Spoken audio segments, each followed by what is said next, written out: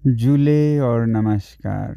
आज 19वें दिन के अनशन के अंत में यहाँ लेह में बहुत बड़ी संख्या में लोग जुड़े। लगभग पाँच हज़ार लोग हमारे साथ एक दिन के अनशन पर रहे और प्रार्थनाएँ की देश के लिए और लद्दाख के संरक्षण के लिए, लोकतंत्र के लिए।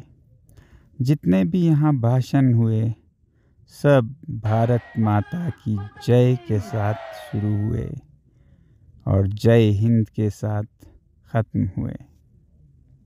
ऐसे ही आज रविवार को देश भर में लगभग 40-50 शहरों में सभाएँ हुई, अनशन हुए और लद्दाख के समर्थन में लोग जुटे। Last night it was minus 8 degrees and some 120 people were sleeping with me out in the open on this fast. Today let me take you through some similar fasts in the past and see the sensitivity of governments towards such genuine people's movements. In 2011, Anna Hazare during the India Against corruption movement sat on a fast unto death for the anti-corruption bill, the Lokpal bill to be passed in the parliament. And by the 13th day of his fast, the parliament unanimously passed the Lokpal bill and he happily ended his fast. That was the sensitivity of the government then. In fact, it was from the movement for India against corruption that the current government of BJP rose to power in 2014. And of course, we must expect the highest standards of truth and justice from themselves. Then in 1986, my own father sat on a fast unto death for the rights of the tribal indigenous people of Ladakh. On the 16th day of his fast, then Prime Minister Mrs. Gandhi flew from Delhi to Ladakh and broke his fast with a glass of juice. Later, they fulfilled the demands. This again shows the sensitivity of governments to people's movements. And in five days, it will be my 21st day of fast, which will be the same as Mahatma Gandhi's longest two fasts, one in 1933 for the tribes and castes of India and once in 1943 during the Quit India movement. This was mm, 21 days was his longest fast and we hope that by then the government will respond. Then there is also the story of Pottishri Ramalu, who in 1952 sat on a fast unto death for the creation of Andhra Pradesh out of Madras presidency. Unfortunately, he died after 58 days of his fast and the insensitivity of the government of Pandit Nehru was that they didn't fulfill it while he was alive, but three days after his death, when huge riots broke out, he accepted the demands and gave the decision to create Andhra Pradesh. So sometimes death is one of the possible results, but such people do not worry as long as the cause is met. If it takes that for us Ladakhis, then so be it, we'll do that. And I can extend my fast after 21 days if it comes to that. Because this is now not just something about Ladakh, it is as much about defending truth and justice, defending the whole process of elections and promises made by political leaders during elections. You all know that the ruling party had pledged to Ladakh to safeguard it under the sixth schedule of the constitution, not once but twice in two major elections, and they won heavily based on those pledges in their manifestos. And today, if they don't keep it and go scot free, it will set the worst precedence for all elections to come. It will make a joke of elections and promises based on which people trust and vote for governments. So it is not just Ladakh's responsibility, but yours too to add to our voice and make it reach the governments. I am not sure our voice has still reached the Prime Minister because I really believe that he believes in truth and justice and will still keep his promises. I have not lost hope on this nation. Thank you very much and have a great day. I'll try to keep strong and alive, even if not kicking. Jai Hind. आपको याद होगा, तीन फरवरी को लेह शहर में बहुत सी जनता यहाँ की जमा हुई थी लगभग तीस हज़ार लेह की तरफ़ आए और उन्होंने गुहार लगाई थी भारत सरकार से कि जो वादे सरकार ने की हैं, उनको निभाया जाए, लद्दाख को संरक्षित किया जाए छठवें शेड्यूल में इसके बाद 19 फरवरी और फिर 4 मार्च को वार्तालाप हुए गृह मंत्रालय और लद्दाख के नेताओं के बीच में और 4 मार्च को ये वार्तालाप विफल हुए, जिसमें सरकार ने ऐसे संरक्षण देने से मना किया। तो आज उसी सिलसिले में जैसा पहले घोषणा की गई थी, एक बहुत बड़ी सभा में जिसमें हज़ारों लोग फिर से जमा हुए, उसके बाद मैं और बहुत से लोग यहाँ के अनशन पर बैठना शुरू कर चुके हैं और ये अनशन 21-21 दिन के चरणों में आमरण चलेगा।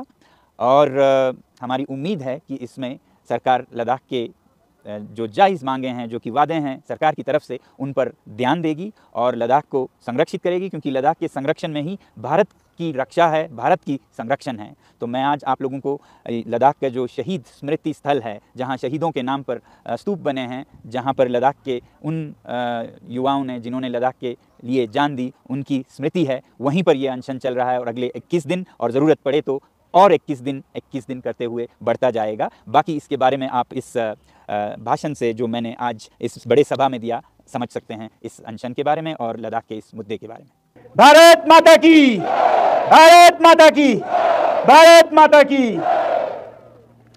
मैं आज फिर आप लोगों से मुखातिब हूँ, मगर इस बार एक अनशन शुरू करने के लिए, आमरण अनशन, मगर जैसा अभी कहा गया, चुनाव के आने के संदर्भ में इसे हम चरणों में करेंगे 21 21 दिन के चरणों में, जब तक हमारे लद्दाख की ये आवाज़ सुनी नहीं जाती, जब तक सरकार लद्दाख पर ध्यान न दे। भारत माता की हम जय करते आए हैं। भारत माता की लद्दाख के सैनिक ही नहीं, लोग, साधारण जनता रक्षा करते आए हैं हर जंग में। 1948 से पैंसठ, बासठ, इकहत्तर, निन्यानवे, हर जंग में लद्दाख के लोग सैनिकों के साथ युद्ध भूमि तक जाते रहे हैं। और उससे पहले जब भारत आज़ाद हुआ, तब लद्दाख कश्मीर का हिस्सा था। किसी ऐतिहासिक गलती के वजह से ये लद्दाख, जो कि एक स्वतंत्र राज था हमारे अपने राजा का, वो कश्मीर का हिस्सा बना। और फिर उन्नीस सौ सैंतालीस में लद्दाख ने गुहार लगाई कि उसे भारत माता का एक हिस्सा बनाया जाए सीधे। मगर ये नहीं सुनी गई और हम कश्मीर में ही रहे। और इस हालत से हमें आज़ाद कराया गया 2019 में। आज की जो सरकार है मोदी जी के उस सरकार ने और उनके हम सदा कृतज्ञ रहेंगे कि आपने लद्दाख को उनका हक दिया लद्दाख को एक यूनियन टेरिटरी की तरह अलग प्रदेश बनाया। मगर मोदी जी समस्या यह है कि आपने हमें आसमान से तो बचाया मगर खजूर पे लटकाया। और आज हम ऐसा महसूस करते हैं कि जैसे किसी अपहरणकर्ता के अपहरण से आपने हमें बचा के लाया मगर फिर हमें बे, बेचने पर लिए रख दिया भरी बाज़ार में। हमें उस अपहरण की स्थिति से निकाल कर लाए, जिसके हम इतने कृतज्ञ थे, मगर हम आज खुद को और भी मुश्किल में पा रहे हैं, क्योंकि हम चौराहे पे अपने माँ बेटियों के साथ जैसे बिकने को खड़े हैं। ये जो यहाँ लद्दाख की जनता, जनजातीय जनता है, ये लद्दाख की जो संवेदनशील, नाजुक पर्यावरण है, ये बिकने के लिए आज चौराहे पे है कि इस पे कोई भी आके कुछ भी कर सके। यहाँ कोई भी गुट, जो खनन के गुट हैं, औद्योगिक गुट हैं इंडस्ट्रियल लॉबीज माइनिंग लॉबीज आज लद्दाख को ऐसे छोड़ा गया है कि कोई भी यहाँ खिलवाड़ करे। ये सह नहीं सकेगी लद्दाख का पर्यावरण, ऐसा औद्योगिक विनाश कहूँगा मैं तो विकास नहीं। पूरे हिमालय में देख रहे हैं आप, हिमाचल से लेके सिक्किम तक, क्या हो रहा है नतीजा ऐसे विकास और विनाश का। तो यही फिर लद्दाख में होने जा रहा है, और इस बार ऐसे कि हम कुछ कह भी नहीं सकेंगे। मैं आपको इसलिए कह रहा था कि हमें चौराहे पे खड़ा कर दिया, क्योंकि आज हम ऐसा महसूस करते हैं जैसे हमारे हाथ, पैर पर सब काट के आपने खड़ा रख दिया है दिखने के लिए। वो इसलिए क्योंकि लद्दाख को जम्मू कश्मीर से निकाल के UT without legislature without legislative assembly यानी कि बिना लोकतंत्र का यूटी बनाया है, जिसमें कहीं कोई आवाज़ रखने की मंच नहीं है जनता के लिए। और इसलिए आज लोग भारत के अन्य राज्यों की तरह, अन्य नागरिकों की तरह अपना हक मांगते हैं कि कम से कम यूटी विथ लेजिस्लेटिव असेंबली जो कि लद्दाख का हमेशा से मांग था यूटी विदाउट लेजिस्लेटिव असेंबली नहीं था, वो दिया जाए। तो हम क्या ज़्यादा मांग रहे हैं? वही मांग रहे हैं जो दिल्ली को, मुंबई को, या केरल को, या बंगाल को, पंजाब को, हरियाणा को, हर राज्य के नागरिकों को यह हक दिया है, भारत माता ने। तो लद्दाख ने क्या गलती की कि उसे आप लोकतंत्र से वंचित रखेंगे, बिना हाथ पैर जबान के रखेंगे? तो एक तो लद्दाख के लोग ये चाहते हैं कि लद्दाख का प्रशासन, लद्दाख का प्रबंधन, लद्दाख के लोगों के मंशा अनुसार हो और उसका एक तरीका है असेंबली, जहाँ पर चुने हुए प्रतिनिधि फैसले करते हैं अपने चेयरमैन या चीफ मिनिस्टर के साथ, ना कि एक गवर्नर या लेफ्टिनेंट गवर्नर जो कहीं बाहर से आते हैं और कुछ ही साल रह के चले जाते हैं। समस्या ये नहीं है कि वो बाहर से आते हैं। समस्या ये है कि लद्दाख जैसे पर्यावरण को कोई समझ नहीं पाता है जिसने लद्दाख देखा भी ना हो। और उनके तीन साल तो इसे समझने में लग जाते हैं और फिर बाकी वापस जाने में। और ऐसे में ऐसे गलतियाँ कर बैठते हैं या बैठेंगे, जिसका नतीजा यहाँ के जनजातीय जनता को सदियों तक भुगतना पड़ेगा। तो इसलिए लद्दाख चाहता है कि यहाँ भी चुने हुए प्रतिनिधि फैसला करे लद्दाख का। और जो यहाँ के नागरिक हैं, यहाँ जो बसते हैं और जन्मों तक बसते रहेंगे पीढ़ी दर पीढ़ी, वो कभी ऐसा नहीं करेंगे कि इस पर्यावरण को बिगाड़ के आज ही का नहीं, कल की परवाह ना करें। ऐसा नहीं करेंगे वो। इसलिए एक तो यूटी विथ लेजिस्लेचर दूसरा तरीका है जो कि भारत माता ने ऐसे संवेदनशील जगहों के लिए जहाँ पर जनजातीय लोग बसते हैं 1950 में अपने संविधान में निहित कर रखा था हमारे पूर्वजों ने, नेताओं ने उस समय के, कि ऐसे जगहों पे छठवें शेड्यूल से आप संरक्षण देंगे। तो ये जो छठवां शेड्यूल है, ये एक ऐसा प्रावधान है कि जिससे ऐसे जगहों को और यहाँ की जनता को संरक्षित रख सके। ऐसा नहीं है कि इससे यहाँ कुछ भी विकास नहीं होगा, यहाँ पर उद्योग नहीं होगा। छठवां शेड्यूल सिर्फ़ ये कहता है कि यहाँ पर ऑटोनमस काउंसिल्स बनेंगे, जिनमें चुने हुए प्रतिनिधि अपने फैसले खुद करेंगे, अपने विकास का। और उनके पास नियम बनाने की क्षमता होगी, कानून होगी लॉ मेकिंग पावर्स तो यही आपसे हम मांग कर रहे हैं, बल्कि मांग ही नहीं, ये आपका वादा है। जब लद्दाख यूटी बना तो आप ही ने, आपकी सरकार ने एक बार नहीं, दो बार चुनावों में घोषणा पत्रों में लद्दाख से ये वादा किया कि ऐसा संरक्षण लद्दाख को दिया जाएगा। मैंने पहले भी दिखाया है, आज फिर दिखाऊँगा कि 2019 में जब ये संसद के चुनाव हो रहे थे, आपने पहले तीन बिंदुओं में लद्दाख को छठवें शेड्यूल में संरक्षित रखने का वादा किया था। और फिर 2020 में जब लद्दाख यूटी बन चुका था और यहाँ का जो पर्वतीय काउंसिल है, हिल काउंसिल, उसके चुनाव हो रहे थे, तब फिर ये वादा दोहराया गया था। उस समय तो फिर इस मांग को पहला सूची में पहला बिंदु रखा गया था, लद्दाख को हम संरक्षण दे, देंगे छठवें शेड्यूल में। तो एक तरह से आपने एक चेक लिख के दिया हमें उस समय चेक पे लिखा था, छठवां शेड्यूल मैं धारक को देने की प्रतिज्ञा करता हूँ। मगर अफसोस, उसके बाद के महीनों और सालों में जब हम इस चेक को लेकर कैश करने गए तो इस पे ठप्पा लगता है कि ये चेक बाउंस हो गया। इस चेक में से आपको कुछ नहीं मिलेगा। आज हम आपको फिर गुहार लगाने आए हैं कि आपका दिया हुआ चेक बाउंस हो गया, ये वादा झूठा निकला। और हम नहीं समझते कि आप झूठ बोलेंगे। हम नहीं समझना चाहते हैं कि आप बेईमानी करेंगे। हम शायद यही समझना चाहते हैं कि अभी भी देर है, अंधेर नहीं है। क्यों? क्योंकि आप सच्चाई के मानने वालों में से हैं।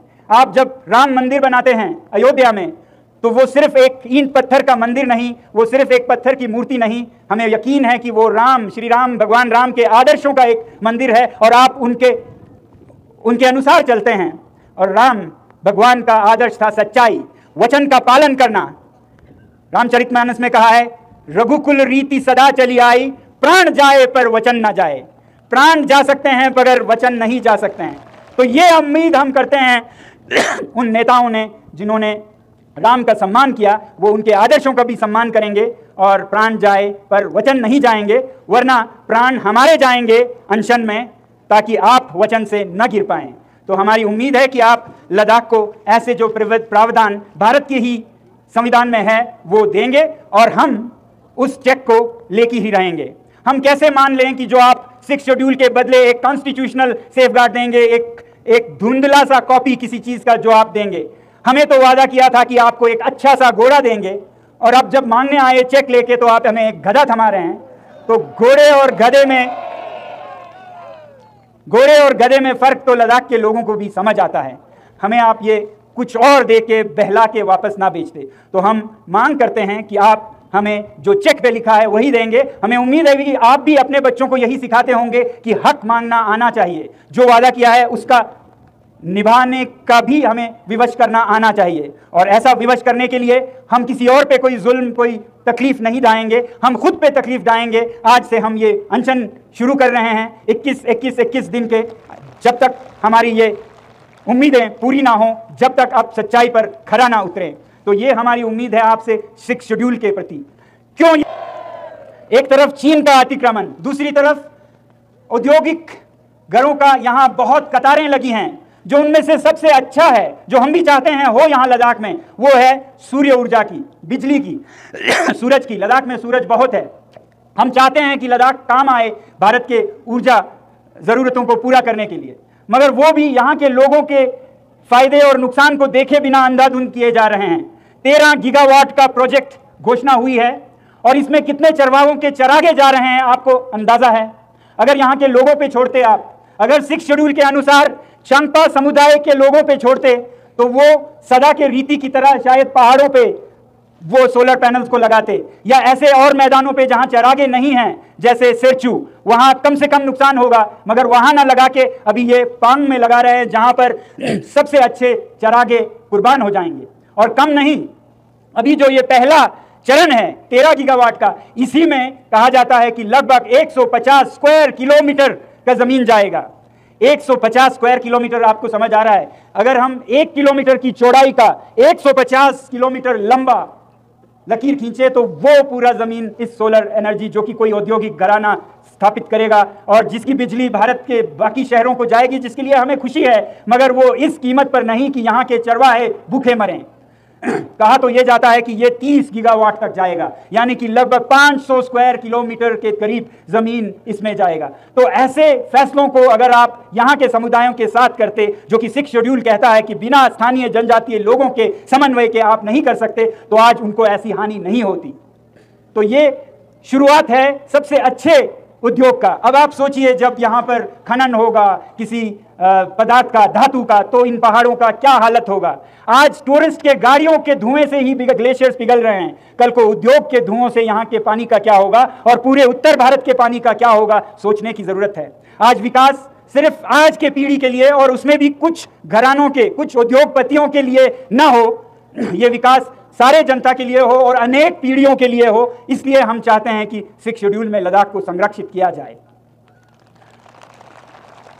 तो अगर ज़रूरत पड़े तो हम आपको और भारत और देश की जनता को दिखाने ले चलेंगे चंगतंग जो कि सीमा पर है। क्या हालत हो रही है लद्दाख की ज़मीन की? जहाँ पर ये सोलर प्रोजेक्ट भी है और जहाँ हम आपको दिखा सकते हैं कि चीन कितना अंदर अतिक्रमण करके आया, ताकि दुनिया देखे, देश देखे, लद्दाख के चरवाहों के साथ क्या हो रहा है। हम कभी कभी कहते हैं कि कुछ नहीं हो रहा है, मगर जो हो रहा है, हम एक बॉर्डर मार्च इस अनशन के बाद शायद 20-25 दिनों में करें, जहाँ पाँच दस हज़ार लोग सीमा की तरफ़ जाएँ और देखें कहाँ तक हम जा सकते हैं। उससे साफ़ आपको दिखेगा कि हम अब कहाँ तक जा सकते हैं और कहाँ तक जा सकते थे। हम चरवाहों के साथ जाएँगे और वो हमें दिखाएँगे कि कहाँ तक उनके चरागे थे और जब हमें रोका जाएगा या भारत या चीन के सेना के द्वारा, उससे आप लोगों को पता चलेगा कि कितना अतिक्रमण हुआ है। तो हम एक बॉर्डर मार्च की भी कल्पना कर रहे हैं, जिससे कि देश और दुनिया को पता चले लद्दाख के लोगों के साथ क्या हो रहा है, देश से भी और विदेश से भी। तो इन सबसे लद्दाख को संरक्षित करने के लिए हम सरकार से चाँद सितारे नहीं मांग रहे हैं। उन्हीं का किया हुआ वादा, संविधान में दिया हुआ अनुच्छेद लागू करने की मांग कर रहे हैं। और जैसा मैंने कहा, लोकतंत्र, हिमालय में लद्दाख के कई बहनें हैं। वो स्कारदू बाल्टिस्तान, जो कि पाकिस्तान में है, तिब्बत, जो कि अभी चीन में है, सिक्किम भारत में ही है, भूटान आज़ाद है। इन सब में, यहाँ तक कि स्कारदू बाल्टिस्तान में भी लोकतंत्र का एक प्रणाली है, चुने हुए प्रतिनिधियों का। तिब्बत चीन में है, वहाँ भी एक इंस्टीट्यूशन है डेमोक्रेसी का। सिक्किम में तो पहले से ही पूर्ण लोकतंत्र है ही, भूटान में है। और सिक्किम में, सिक्किम की आबादी जब सिक्किम राज्य बना तो केवल तीन लाख से भी कम थी, लद्दाख से भी कम थी। आज हमें कहा जाता है कि आपकी आबादी उतनी नहीं है। तो ये ना कहिएगा, अगर सिक्किम लोकतंत्र पा सकता है तो लद्दाख भी पा सकता है। तो इन्हीं उम्मीदों के साथ मैं आज देश की जनता से अपील करता हूँ, गुहार लगाता हूँ कि ये समस्या सिर्फ़ लद्दाख के लोगों की नहीं है पूरे भारत की समस्या है। और अगर लद्दाख के लोग हर युद्ध में सैनिकों के साथ भारत की रक्षा करने निकले हैं हर वक्त तो आज भारत के नागरिकों के, चाहे वो दिल्ली में हो, चेन्नई में हो, कलकत्ता में हो, मुंबई में हो, आपकी ज़िम्मेदारी है कि आज आप लद्दाख की रक्षा करें। इसलिए मैं अपील करता हूँ कि आप में से जो लद्दाख आए हैं, वो तो इसमें नेतृत्व दें। और बाकी लोग जो लद्दाख का ख्याल करते हैं, वो सब मिलके अपने अपने शहरों में फ्रेंड्स ऑफ़ लद्दाख लद्दाख के दोस्त ऐसे समूह लद्दाख मित्र समूह बनाएँ। Friends of Ladakh friends of nature जो कि ऐसे अंधाधुंध विनाश, विकास से लद्दाख को बचाए। आपकी आवाज़ बहुत ज़रूरी है। सरकार तक पहुँचे, आपकी आवाज़ प्रधानमंत्री जी तक पहुँचे, आपकी आवाज़ गृह मंत्री जी तक पहुँचे, हमारी आवाज़ के साथ मिलके। ये बहुत ज़रूरी है। ज़रूरी क्यों है? क्योंकि क्योंकि हमारे सरकार पर हमें समझ आता है, जैसा हम देख रहे हैं और जैसा कई नेताओं ने कहा है भारत के, खासकर ऑपोजिशन के कि कई औद्योगिक घराने, कई औद्योगिक गुट सरकार पर यह दबाव डाल रहे हैं कि लद्दाख को संरक्षित न रखें, ताकि वो लद्दाख में खिलवाड़ कर सकें, वो लद्दाख के ज़मीन, लद्दाख के वादियों को माइनिंग कर सकें। तो अगर उनका दबाव सरकार पर है तो फिजिक्स में कहते हैं कि इक्वल एंड अपोजिट फोर्सेस होने चाहिए। तो हमारी तरफ़ से और आपकी तरफ़ से इक्वल एंड अपोजिट बराबर की आवाज़ और शक्ति और प्रेशर दबाव सरकार पर आए कि वो जो दबाव औद्योगिक गुटों से है, उसका ये बराबर हो और सरकार फिर अच्छे नियत से, अच्छे समझ से फैसला कर सके बिना किसी दबाव के। तो ये हमारी एक दायित्व है कि आज आवाज़ उठाएँ, आज लिखें सरकार को, प्रधानमंत्री जी को गृह मंत्री जी को लद्दाख के संरक्षण के बारे में। जैसे लद्दाख भारत के संरक्षण और रक्षा के लिए हमेशा उतरता रहा है। युद्ध भूमि में आज आपकी बारी है। शुक्रिया। बहुत बहुत धन्यवाद। जय हिंद, जय लद्दाख